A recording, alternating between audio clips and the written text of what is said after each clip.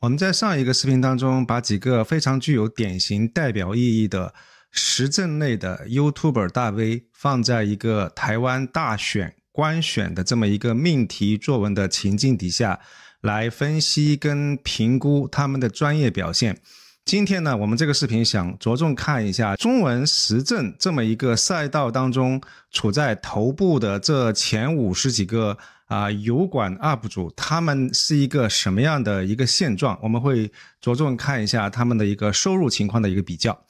啊，首先呢，我会选择了总共有将近五十二个个时政类的这个 YouTuber，排名不分先后，包括了以上这些人。啊，当然这个名单不会是一个完全准确或者是呃完整的名单，肯定会有遗漏。我选择这些名单的主要的因素考虑，第一个就是他们的粉丝的数量。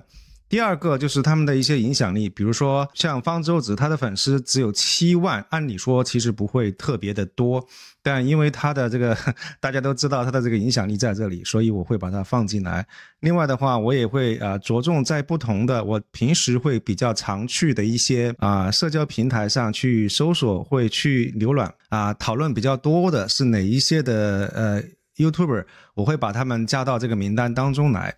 嗯，然后我们在估算这些呃中文时政的这个油管大 V 的时候，主要来源是啊来自于这个 Social Blade 这个呃平台的他们的数据。这个平台呢，在估算每一个呃 YouTuber 的收入的时候，它其实是有一个啊收入的范围。为了简化的话呢，我们就只取它这个范围的最大值。嗯，当然的话，这个实际的收入。跟它的这个估算值肯定会有一定的出入，有可能会比这个最大值范范围还要更高，或者也有可能就是在它中间的某一个位置上面，到底准不准确？其实说实话，只有这个 UP 主他本人才知道。以我个人非常有限的经验来判断的话呢，嗯，它基本上算是能够比较准确的，就是把你的这个收入啊评估一个呃量级。所以，我们其实今天主要也就是看这些不同的 YouTuber 他们收入的一个量级。另外的话呢，其实我们这个收入主要是评估的他们的视频播放、油管的这个广告分成的收入。其他一些，比如说你到底开了多少会员，然后啊，业配也好，或者是这个视频的赞助，或者是你有通过一些线下的商城，或者是你有售卖一些周边的产品，以及啊粉丝给你的打赏啊，诸如此类的这些收入都不计算在这个范围以内。OK，我们先简单给大家看几个数字，让大家对于这个中文时政的这个赛道的 YouTuber 的这个圈子有一个大致的了解。目前我们看到，就是总共这五十二个啊 YouTuber，他们总计呢啊吸引了两千两百万的粉丝的人数，然后呢。均值是平均每一个 YouTuber 有四十二万个粉丝，中位数的话呢是二十七万个粉丝。那也许中位数这个会更加能够准确的反映，就是呃，如果你想做一个比较成功的中文时政类的这个 YouTuber 的话，你的目标值可能会放在二十七万，会比较啊更现实一点。OK，然后作为一个对比的话呢，以最成功的这个 YouTuber 老高和小莫来说，他们总共有六百零八万个粉丝。所以其实可以想象得到，就是啊，中文时政内，其实我们并不是相对于其他赛道来说来说，并没有那么的有优势。身在墙外的，已经能够翻墙出来的华人总数，应该会超过了一个亿，而活跃在 YouTube 的这个中文观众的总数，大概是八千万左右。OK，所以。这两个数字会给大家一个概念，就是整个中文时政类的这个赛道的这个 market size 到底有多大。然后我们自己的统计会发现呢，中文时政类所有这些大 V 他们的年收入总值在九百万美金。如果把所有那些没有统计进来的那些相对来说啊小一点的这个 YouTuber 也算上的话，整个 market size 应该是在一千万美金一年左右。然后在这个数值的平均值是十八万美金一年，中位数的话是十一万美金一年。也就是说，如果你想要做一个相对来说比较成功的一个中文时政类的 YouTuber 的话，你可以期望你的收入是在十一万美金一年左右。同样的，如果我们把老高和小莫放在这个地方做一个比对的话，以二零二二年的这个数值来估算，他们其实一年的收入就可以达到。三百三十万美金。注意，这里仅仅只是他们这个广告分成的收入。OK，接下来我们会分不同类型的榜单看一看，就是中文时政类的这个 Top Ten。第一个榜单就是粉丝数量前十名。然后我们看到前十名包括了文昭、王志安、江峰、小岛啊、李牧阳、袁腾飞，这个八囧、百灵果、Nanet，然后王健，这是前十强。我们会发现呢，如果你想要入选前十强的话呢，你的门槛就是需要至少有七十二万粉丝，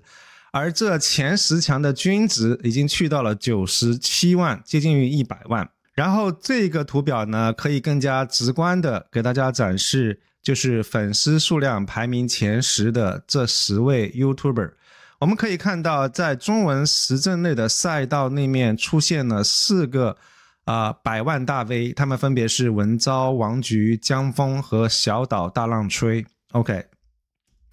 接下来第二个榜单是年收入的前十强。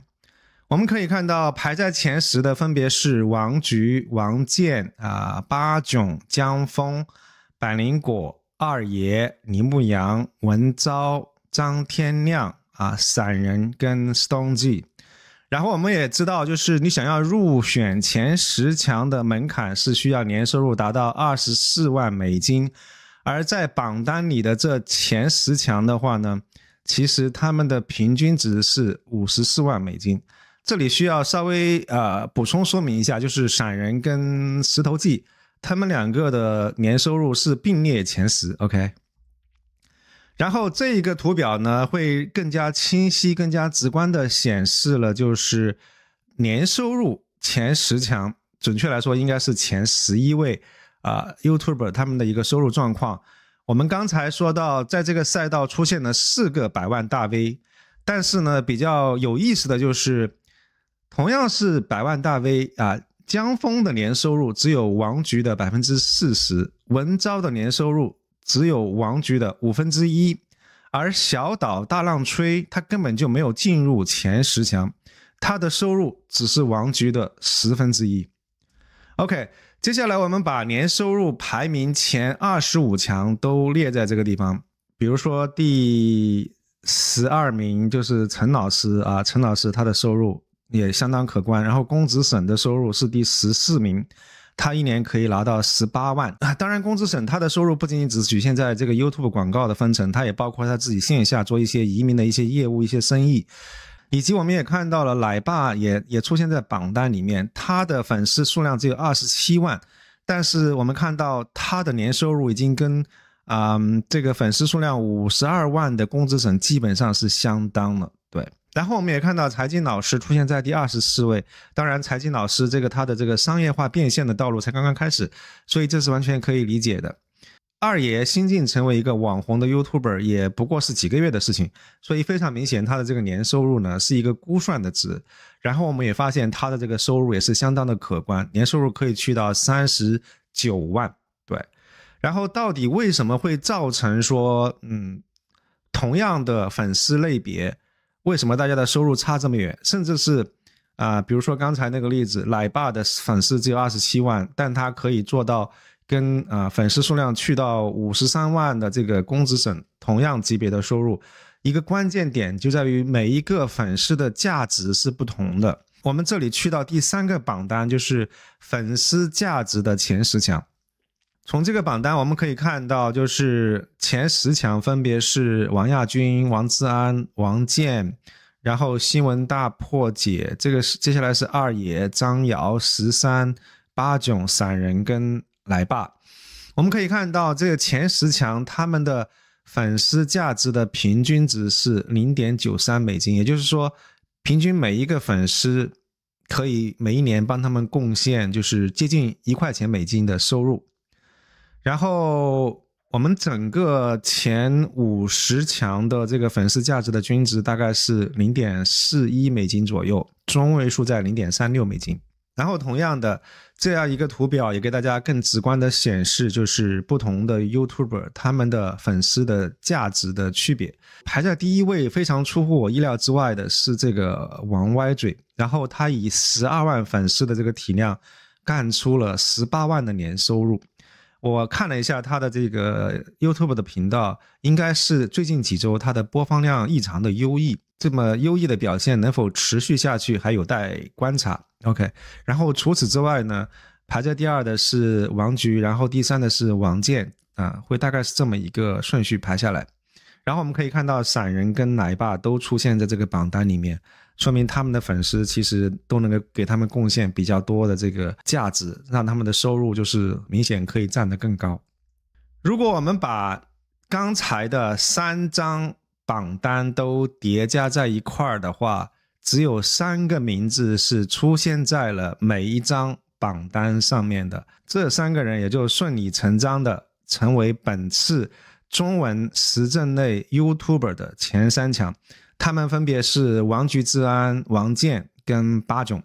这个地方我要声明一下，就是本次的这个呃榜单呢，我们只是在讨论他们的这个不同的油管频道的他们现有的规模、变现的能力跟他们发展的潜能。我们在今天的视频当中不讨论他们的立场，不讨论他们的价值观、人品。也不讨论他们输出的信息的价值，这个地方请大家要留意一下。我们不评判他们的这些三观，我们只讨论他们的商业模式跟他们的这个商业变现的能力。OK，接下来我们想重点看一下，就是啊，五十二个油管的这个博主当中，我们也看到其中有二十二名是属于呃法轮功系的这个油管主。我们会把他们的表现跟其他非法轮功系的这些呃 YouTuber 做一个比较，然后我们会发现轮系的这些啊 YouTuber 呢，他们的粉丝总数超过了八百五十五万，基本上是占据了中文时政内赛道的半壁江山，就是占比是百分之四十，而他们这些轮系的。呃，YouTube 的粉丝均值是三十九万，将近四十万。OK，我们可以看到，就是在轮系矩阵当中，影响力最大的分别是文昭、江峰、李牧阳这几个人。然后轮系这些 YouTuber 他们的年收入总值大概去到两百五十八万美金，占到整个中文赛道的三分之一强。然后均值是在十二万美金上下。然后轮系矩阵年收入赚钱最多的分别是江峰、李牧阳、文昭、张天亮。然后我们把轮系跟非轮系如果放在一块儿比较的话，能够很明显看出区别就在于说，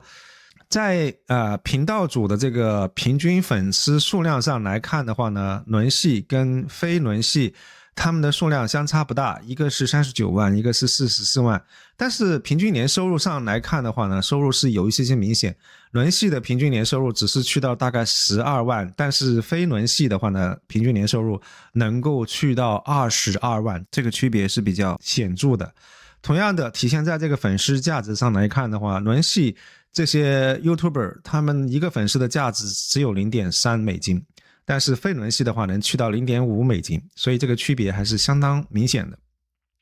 OK，如果我们把所有不同类型的这些啊时政啊 YouTuber 放在一块儿比较的话，我们会发现说。我们可以把它们分成以下几类，当然这个分类不一定非常的科学严谨，我已经尽力去分了。我把它分成以下这一些类别，首先是轮系，刚才我们已经看过了，接下来是民运啊，比如说啊什么吴建民啊、袁公仪啊这些人，接下来是五毛类的，我我们包括了这个小岛、大浪吹、韩梅，然后有磊哥，接下来是反贼类的 n a n e 然后方脸呐、方德言呐、狗哥啊、李老师，然后。台湾背景的，我们把这个百灵果，然后八囧，他们都很容易理解。然后张瑶跟陈老师，他们两位其实是中国人啊，但是他们他们的风格是主打就是倾向于给台湾观众的，所以我我我也把它放在这个类别里面。然后大陆这个背景的话呢，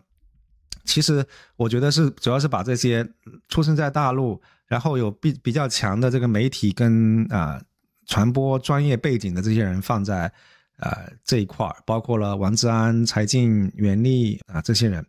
比较难分的就是我有一类叫做呃，我把他们放在叫做投投机类或者骑墙派，包括了散人石头记啊、龚之省、歪嘴、方舟子、奶爸啊，对这个分类肯定不是非常准确，但是我想也还是有一点点意义。我们可以看到，刚才我们发现就是轮系这些大 V 的话，他们的粉丝价值只有大概零点三零美金。然后，如果我们把民运跟五毛拿来比较的话，我们会发现其实五毛类的这些人，他们的粉丝价值更低，只有零点一八美金。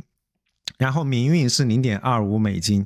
啊，接下来的话呢，反贼是零点三四美金，比这个轮系要好。啊，最强的是台湾背景的这一些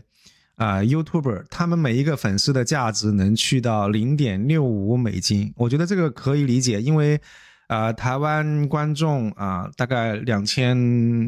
三百万，他们可以自由的访问。啊，油管他们在支付上或者各方面都跟世界是互通的，所以可以想象，如果他非常认可某一个 YouTuber 的话，嗯，他在这个消费能力或者其他方面会表现会非常突出。然后大陆媒体背景的这些人的话，我也可以理解，就是他们以王志安为代表的这些人，他们出来以后，他们能够吸引很多，就是不同于早期移民那些相对来说。这个教育程度跟收入水平相对没有那么高的啊，早期移民来说，后期啊移民到西方世界海外的这些华人，他们普遍受教育程度更高，他们的收入水平更高，然后他们会更加认可就是大陆背景的这些 YouTuber，他们不太会认可轮系的这些这些这些油管主，所以也就也就意味着说。这个以大陆背景的这个 YouTuber，他们的粉丝的价值会去到零点五九，仅次于台湾背景的这些 YouTuber，所以这个赚钱能力也是相对比较高的。而至于投机类的或者骑墙派，他们的，因为他们可以两边左右逢源嘛，所以可以想象就是他们的这个粉丝的这个价值也是相对不错的。对，本次通过分析，呃，比如说前五十强的这些。油管主，其实我也发现了有一些些频道是急需改进的。比如说，我们看到把啊粉丝数量超过二十万，然后粉丝价值低于零点三美金，年收入少于八万美金的频道列出来的话，总共列出了五个频道，有四个频道都是轮系的，有一个频道是袁公仪先生的频道。啊，轮系的问题出在我刚才也其实简单讲到，就是可能。他们的这个观众受众群体可能会有一些些变化，他们需要调整他们自己的传播的方式，或者是呃其他方面的一些考虑，这个是很容易理解的。袁公仪袁老师的话呢，呃，其实我看到他也开始尝试和他的女儿一起经营这个频道，也许这是一个比较好的方法，就是因为可能年纪大了以后。他的这个频道的这个呃粉丝的这个活跃程度会降低。那如果你能够引入一些新鲜血液的话，也许是一个不错的方法。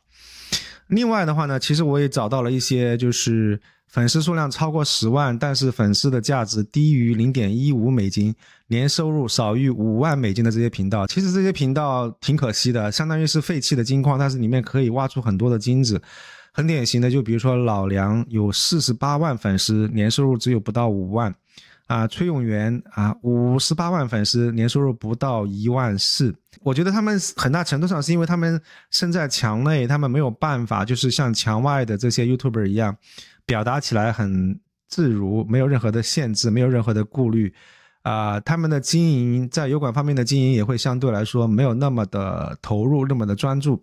在这个地方，我想就是特别提一下，就是肖明看世界，他本来是。已经脱离了轮系，这个脱离的过程应该也是受到了很大的打击，所以他的收入已经接近于零了。然后他的这个评级被降到低减。在此声明一下，就是我其实做这个